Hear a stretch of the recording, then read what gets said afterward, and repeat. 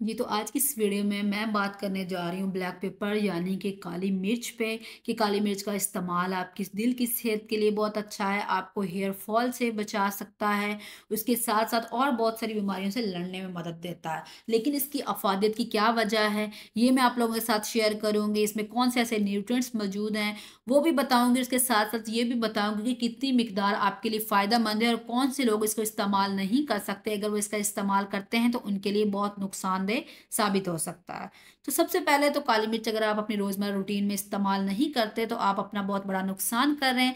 यकीनन आपको इसके बेशुमार फ़वाद का नहीं पता होगा, इसलिए आप इसको अपनी रूटीन में इस्तेमाल नहीं कर रहे ये आपको बहुत सारे अमराज से लड़ने में मदद देती है, बहुत सारे आने वाली बीमारियों से बचा सकती है और आपकी बहुत सारे न्यूट्रिएंट्स जो हैं वो आपको काली मिर्च प्रोवाइड करती है। तो सबसे पहले अगर इसकी मैं न्यूट्रेटिव वैल्यू यानी कि गज़ाई अज्जा की बात करूँ तो काली मिर्च का में बहुत सारे मिनरल्स मौजूद होते हैं, जैसे कि calcium, potassium, magnesium, copper, selenium और इन सबके साथ साथ ये आयरन का भी एक बहुत अच्छा सोर्स है।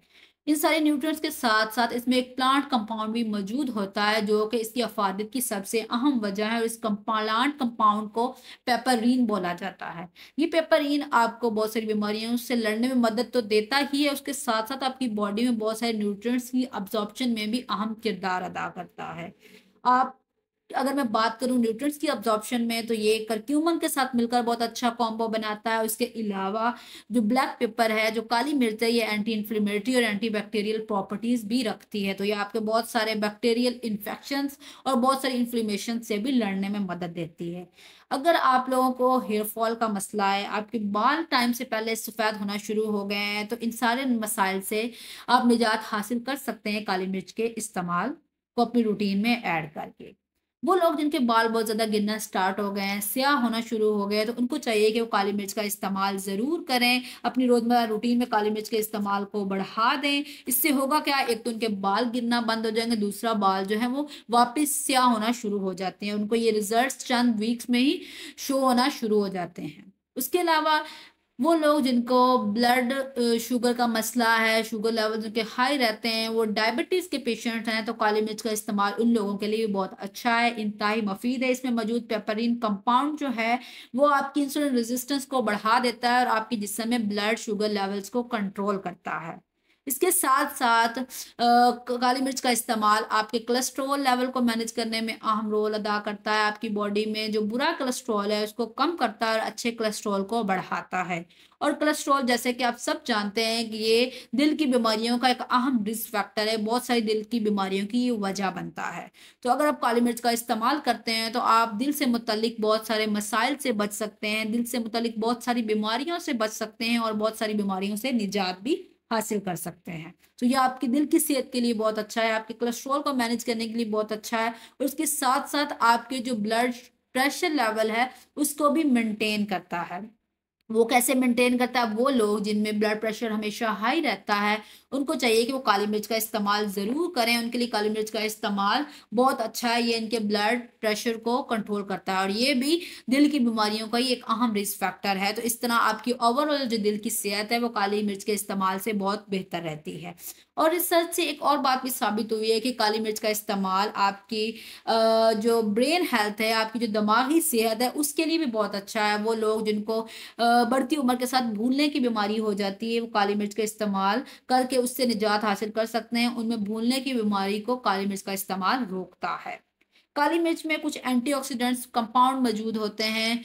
और इन एंटीऑक्सीडेंट कंपाउंड्स होने की वजह से काली मिर्च का इस्तेमाल हम ये भी कह सकते हैं कि ये आपको कैंसर से लड़ने में भी मदद देता है। अगर आप में कैंसर के चांसेस हैं तो काली मिर्च का इस्तेमाल उसको प्रिवेंट करेगा।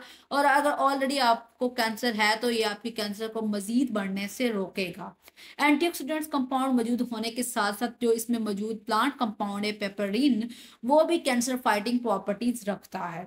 वो भी आपको कैंसर जैसे जहाँ लेवर मर्ज से बचाने में एक अहम किरदार अदा करता है। तो काली मिर्च का इस्तेमाल वो लोग जिनको कैंसर का मसला है, वो अपनी रोज़मर्रा की रूटीन में ज़रूर करें और वो लोग जिनकी फैमिली में कैंसर हिस्ट्री है, उनको भी चाहिए कि वो काली मिर्च का इस्तेमाल अपनी डेली रूटीन में ज़रूर करें आने वाले इस मसले से बचने के लिए। इसके अलावा अगर मैं काली मिर्च के अदर बेनिफिट्स की बात करूँ तो ये बहुत सारे न्यूट्रिएंट्स की ऑब्जॉर्प्शन के लिए बहुत ज़रूरी है। जैसे कि अगर आप गोल्डन मिल्क लेते हैं तो उसमें जो हल्दी मौजूद है, हल्दी वाला दूध जिसको हम सिंपल वर्ड्स में बोलते हैं, वो प्रॉपरली आपकी बॉडी में ऑब्जॉर्ब नहीं होती। उसको ऑब्जॉर्प्शन के लिए कोई और न्यूट्रंट चाहिए होता है। तो उसको आप हल्दी के प्रॉपर फ़वाद नहीं आपको मिल पाते, जो उसकी कंप्लीट फ़वाद हैं तो अगर आप इसमें एक चुटकी काली मिर्च ऐड कर लेते हैं उस हल्दी वाले दूध में तो जो हल्दी में मौजूद पेपरिन है, और जो आपकी काली मिर्च में मौजूद पेपरिन है, और जो हल्दी में मौजूद करक्यूमन है, वो दोनों मिलकर बहुत अच्छे फ़वाद आपको देते हैं, और आपको हल्दी के प्रॉपर फ़वाद मिल सकते हैं। इसके साथ साथ काली मिर्च का इस्तेमाल आपके निज़ाम निज़ाम के लिए बहुत अच्छा है, आपके डाइजेस्टिव सिस्टम के लिए बहुत अच्छा है, उसके साथ साथ बहुत सारी इन्फ्लीमेशन को भी कम कम करता है, जैसे कि अर्थराइटिस है और बहुत सारी जिसम में होने वाली सोजिश को कम करने में काली मिर्च का इस्तेमाल बहुत अच्छा है।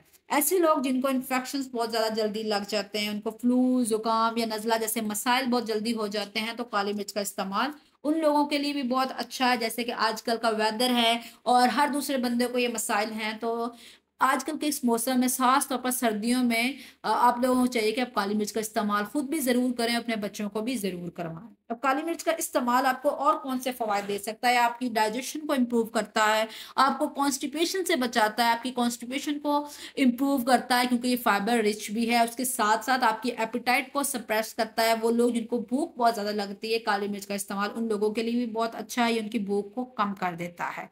अगर आपको किसी भी तरह का कोई अल्सर है, मेदे का अल्सर है, मेदे में जलन या सोजिश है, डायरिया, वॉमिटिंग या रोजिया का मसला है तो आप काली मिर्च का इस्तेमाल हर गिज ना करें। आप लोगों के ये मसाइल को काली मिर्च का इस्तेमाल मज़ीद बढ़ा सकता है।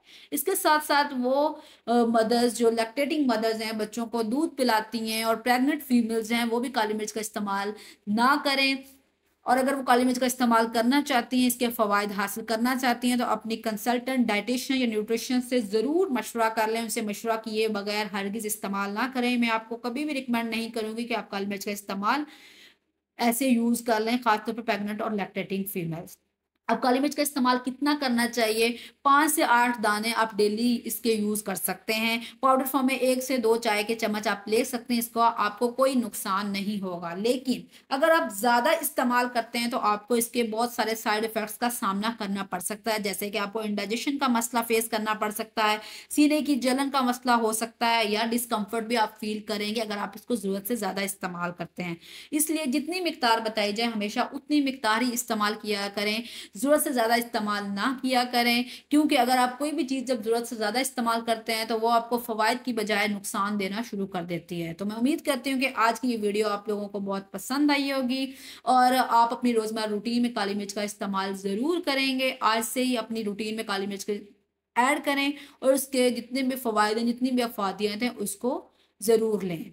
तो इनशाला मिलते हैं नेक्स्ट वीडियो में, तब तक के लिए अपना बहुत ज़्यादा ख्याल रखें और दुआओं में याद रखा करें। अगर मेरे चैनल को अभी तक आपने सब्सक्राइब नहीं किया तो सब्सक्राइब कर दें और बेल आइकन को भी प्रेस कर दें। इनशाला मिलते हैं नेक्स्ट वीडियो में एक अच्छे से इन्फॉर्मेटिव से टॉपिक के साथ। तब तक के लिए अल्लाह हाफिज़।